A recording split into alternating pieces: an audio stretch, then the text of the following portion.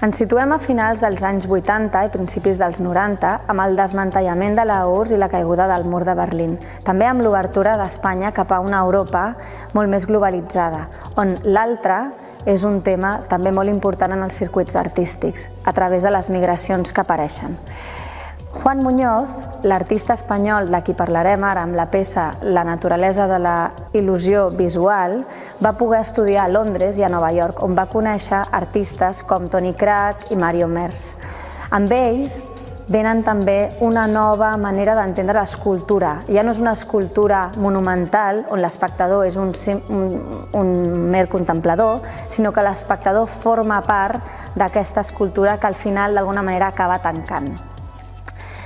La peça que tenim a la col·lecció del MACBA precisament té tots aquests punts tan característics de l'obra de Juan Muñoz. La relació amb l'altre, l'enteniment o l'anàlisi del subjecte com un subjecte individualitzat i la idea de l'escolta i de la mirada.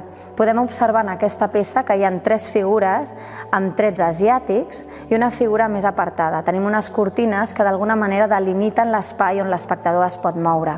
Però a qui parlen aquestes escultures? Què escolten? Tenen els ulls tancats, estan somrient?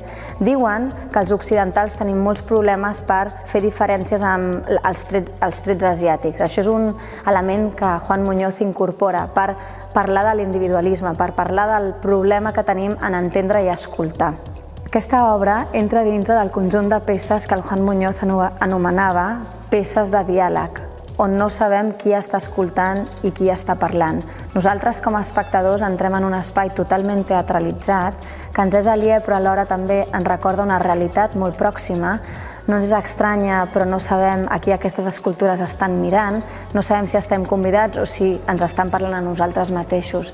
D'alguna manera, Juan Muñoz va fer una revolució en el Mm, món de l'escultura introduint una figuració i una narració. Ell sempre va dir que ell era un narrador d'històries, un storyteller.